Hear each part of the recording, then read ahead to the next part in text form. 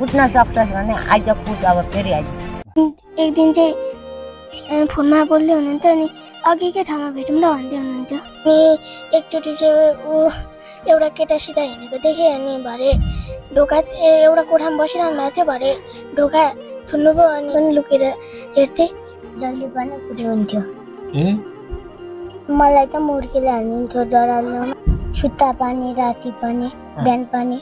दिउँसो पानी।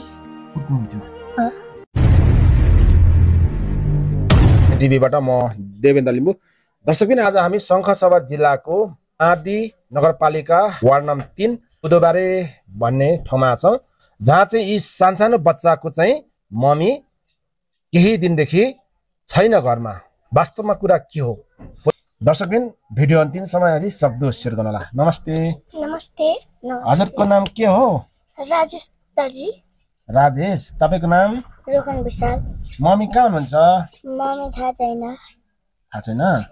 मम्मी कहाँ हुनुहुन्छ? थाहा छैन। कहिलेदेखि घरमा आउनु भएन? जेठको तिनदेखि तिन गतेदेखि घरमा हुनुहुँदैन कहाँ जान्छु भनेर जानु भएन? बत्तीको बिल तिन घरबाट जान्छु भनेर जानुभएको। बत्तीको बिल. अनि त्यसरी अब मम्मीले बत्तीको बिल मात्रै तिर्छु भन्नुभयो? बुवा नि विदेशदेखि भर्खर आउनु भएको रहेछ अनि बुवा आउँदैछ भन्नु भएन भन्नु भएन फोनमा कुराकानी भएको थिएन होला नि? अनि मम्मी बत्तीको बिल तिर्नुभएको फर्केर आएन। याद आउँछ कि आउँदैन छोरा? मम्मीको? याद आउँदैन? किन? माया गर्दैन थियो मम्मीले? माया गर्दैन थियो मम्मीले? कुट्नुहुन्थ्यो जहिले पनि जहिले पनि कुट्नुहुन्थ्यो। ए? मलाई त मुर्कीले हाल्नुहुन्थ्यो डराल्नुमा छुट्टा पानी राति पानी बिहान पानी। दिउँसो पानी। म कतै मम्मीले मलाई लिएर गएको बेला त यता एकछिन बस्दै गर म उता गएर आउँछु ल भन्नुहुन्थ्यो अनि एकचोटि चाहिँ ऊ एउटा केटासित हिँडेको देखेँ अनि भरे ढोका एउटा कोठामा बसिरहनु भएको थियो भरे ढोका थुन्नुभयो अनि म त उता गएर बसिराखेँ अनि भरे निस्किनु भयो ए कहाँनिर त्यो चाहिँ यो ऊ पर हो कहाँ यहीँ यो मुखहरूकै पल्लो पल्लो छेउ ए त्यहाँ चाहिँ के होटल थियो कि त्यहाँ मेला बजार लागेको थियो. त्यति बेला खेलाडीहरू निकै आएको थियो अनि त्यहीँ ए ओ नानी पनि गएको थियो तिमी मात्रै गएको थियो म गएको थिएँ भाइलाई त छेउ पनि दिनु हुँदैन थियो म पनि लुकेर हेर्थेँ लुकेर हेर्नुहुन्थ्यो लुकेर हेर्दाखेरि केटासँगै बस्थ्यो कि? निगारहरू रक्सीहरू टन्नै खानुहुन्थ्यो। कतिजना केटाहरूसँग अब हुन्थ्यो? अँ, कहिले चार पाँचजना कहिले तिनजना कहिले दुईजना। दुईजना? त्यो साथी र होला नि उसको? खोइ के हो? थाहा उसको छैन। साथी र होला नि। एकजनासँग देख्नु भएन? देखिनँ। दुईजनासँग मात्रै हो? दुईजना केटा कहिले तिनजना? एकजनासँग देख्नु भएन? अनि घरमा त आउँथ्यो कि आउँदैन थियो घरमा पनि आउँथ्यो। कहिले काहीँ आउँथ्यो निकै ल्याउनुहुन्थ्यो घरमा पनि। बुबा हुनुहुन्थेन आमालाई कुटिहाल्नुहुन्थ्यो केही भन्नु भने हामीलाई पनि कुटिहाल्नुहुन्थ्यो। हजुर आमाले कुट्नुहुन्थ्यो? अँ डह्रो कुट्नुहुन्थ्यो नि। केले कुट्नुहुन्थ्यो हजुर आमालाई चाहिँ? ड्याम कि ड्याम लात्ते लात्ताले मुखाभरि ठुकिदिनुहुन्थ्यो. अनि छिमेकीले पानी जा दिँदा त कसो गरेर फ्यालिदिनुहुन्थ्यो। छिमेकीले?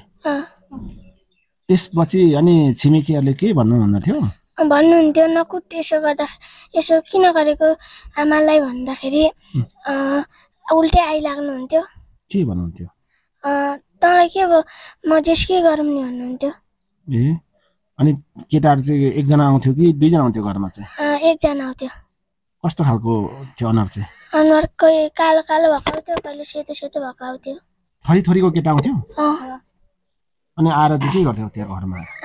आएर खै मम्मी खै भन्ने सोध्यो अनि थाहा छैन भन्नु पर्थ्यो अनि हामी त चुपचाप लागेर बसिहाल्नु पर्थ्यो अनि त्यो कता जान्थ्यो मम्मी कता जानुहुन्थ्यो.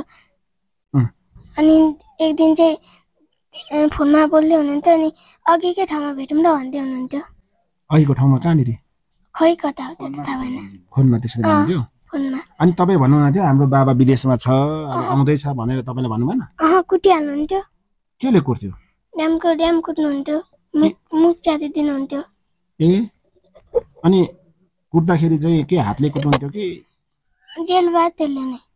दुख्नेरी कुर्थ्यो अँ। अनि तपाईँको सरहरूलाई भन्नु भएन भन्नु पर्थ्यो नि त। भन्नु भने कुटिहाल्नुहुन्थ्यो। छरछिमेकीलाई भन्नु भएन कुटिहाल्नुहुन्थ्यो अनि कसरी भन्नु? तपाईँले नि डर कुट्नु भयो मम्मीले। कस्तो कस्तोमा कुट्नु भयो यस्तो ढाडमा अनि यस्तो पानी पेटमा अनि गालामा कुट्नु भएको कुट्नु भएको त्यो मम्मीको नाम चाहिँ के हो बिमला दर्जी थाहा छ मम्मीको नाम। के अरे बिमला दर्जी बुवाको नाम रुद्रबहादुर दर्जी तपाईँले मम्मीले धेरै माया गर्छ कि बुवाले बुबाले तपाईँले लाग्छ मम्मी कहाँ छ जस्तो लाग्छ मलाई त खै थाहा छैन खोजेर ल्याइदिनु हामीले अँ। किन खोजेर ल्याइदिनु माया लागिरहेछ? किन खोज्नु त नि। पैसा लगेछ थाहा छैन हामीलाई त। अठार लाख पैसा। लगेछ भन्छ? ए। अनि त्यसरी गर्दाखेरि अ, हजुरबुवा चाहिँ घरमा हुन्थ्यो कि हुनुभएको थियो? हजुरबुबा हजुरबा अलिक परै बस्नुहुन्छ अनि आमा हामी अलिक ओर बस्छौँ। अनि हजुरआमाले कुट्दाखेरि हजुरबाबुले केही गर्नुभएको थियो? अँ सुन्नु त हुँदैन त खोला पारी खोलावारी मम्मीले के भन्नु चाहनुहुन्छ? बुबा विदेशदेखि आएको छ। तपाईँ कहाँ हराउनु भयो हाम्रो माया लाग्छ कि लाग्दैन? मम्मी हाम कहाँ हुनुहुन्छ हाम्रो माया लाग्छ कि लाग्दैन? तपाईँ जसरी भए पनि यो भिडियो हेरिसकेर आउनु यहाँ बिजोग छौँ। मम्मी तपाईँ यो भिडियो हेरेर घर आउनु। तपाईँ कहाँ हुनुहुन्छ? बुबाले खोज्दै हुनुहुन्छ। अरू के भन्न चाहन्छ मम्मीलाई? छिटो आउनु घर आउनु। अनि आउनु भन्छु। भन्नुहुन्छ? दर्शकबिन यी बच्चाहरू चाहिँ उहाँको मम्मीले छोइसकेपछि बिजोग अवस्थामा चाहिँ छन् जहाँ चाहिँ पाहाडमा छन् बच्चाहरू। र यस बिचमा चाहिँ के छ भने बच्चाहरूको चाहिँ मम्मीको माया रहेछ र छैन भन्नु चाहिँ के छ भन्दाखेरि मम्मीले अलिकति यहाँनिर चाहिँ गायब भइसकेपछि मम्मीले फोन गर्दैन र गायब हराएका छन्। बिमला बहिनी तपाईँ जसरी नै बच्चाको लागि आइदिनु होला। किनकि बच्चाहरू भनेको देउता हुन्छ। तपाईँले यसरी तपाईँले माइमारी नगर्नु होला। ए बिमला बुहारी मर्ने गरी कुटिस् तँ अहिले कहाँ छस्? किन मलाई ढाँटेर बत्तीको बिल तिर्न जान्छु भनेर हिँडिस्? तँ तुरुन्त आइज घर। त्यो अठार लाख पैसा र दुई तोला सुनसुमन लिएर त घरमा आइज। राम्रो गरी आइज मिलिजुली गरेर खाओ त्यति गरेर बस खाओ। म जे गरेर खा खाउँला पाले पालाउला नपाले नपालाउला तिमीहरू मिलिजुली गरेर खाओ थपक्क त्यति लिएर आइज। घरमा आएर अठार लाख पैसा र दुई तोला सुन लिएर आइज कहाँ छस् के छस् संसार खोजिसकियो आइपुगिनस्। लु आइज अब थपक्कै घरमा। प्रहरीबाट नि खोजिँदैछ। मिडियाबाट पनि अब हामी खोज्छौँ लु आइज तुरुन्तै आइज। कुट्न सक्छस् भने आइज कुट अब फेरि आइज। हजुरआमा हो हँ? तपाईँको हजुरआमा हो? अँ। उहाँले नै अघि कुटेको भनेको उहाँले हो? अँ, कुटे जानुभयो। अनि डह्रो कुटेछ क्या मम्मी तपाईँलाई? डर त कुटेको त अब थाहा नै पाइनँ मैले। अनि बेहोसै भएँ। छरछिमेकीलाई गुहार्नु भएन? त्यही घाँटी बेला बेला छोडिदिँदाखेरि गुहार गुहार मलाई मारी है बुहारीले भन्दाखेरि छरछिमेकीले सुनेर जानुभएछ अनि उहाँले छुट्याइदिनु भयो.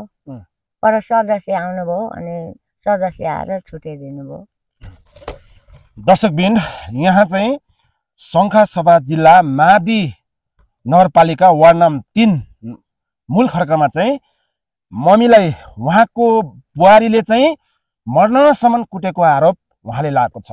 त्यति मात्र होइन। उहाँको श्रीमान विदेशमा छ र आउँदै गर्दाखेरि विदेशबाट आउँदै गर्दाखेरि घर आइपुग्नु आँट्दाखेरि फरार भइन्। विमला दर्जी। तर अठार लाख र दुई तोला सुन समेत लगेको आरोप छ र सासूलाई पटक पटक चाहिँ कुटपिट गरेको र बच्चालाई पनि कुटपिट गरेको र आखिर के हो? विमला बहिनी तपाईँ तुरुन्तै आउनु पर्यो। नत्र भने तपाईँले नेपाल प्रहरीबाट नि खोजी हुँदैछ र हाम्रो मिडिया थ्रोबाट नि खोजी हुँदैछ। तपाईँले यति गल्ती गरेको होइन। साँच्चैको यो आरोप हो भने तपाईँले सामना गर्नु पनि सक्नुपर्छ कि मैले कहाँ लगेँ कहाँ खाएँ मेरो के छ त्यस्तो खालको भनेर तपाईँले आउनु पर्यो। यदि तपाईँ अभरमा हुनुहुन्छ अप्ठ्यारोमा हुनुहुन्छ भने पनि त्यो पनि भन्नु पर्यो। किन त आखिर तपाईँको श्रीमान विदेशबाट आउने बित्तिकै तपाईँ भाग्नुभयो? तपाईँको आरोप त्यति ठुलो किन लाग्यो?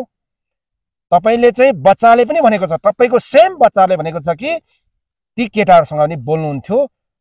ती केटाहरूसँग बोल्दाखेरि तरकारी पाक्दै गरेको पनि पानी सनन लाएर चाहिँ भागेको के अरे त्यहाँ कि थुत्तै निस्केर गएर भेट्नु जानु हुन्छ मेरो मम्मी भनेर उहाँले बच्चाले पनि भनिसकेको छ आखिरी।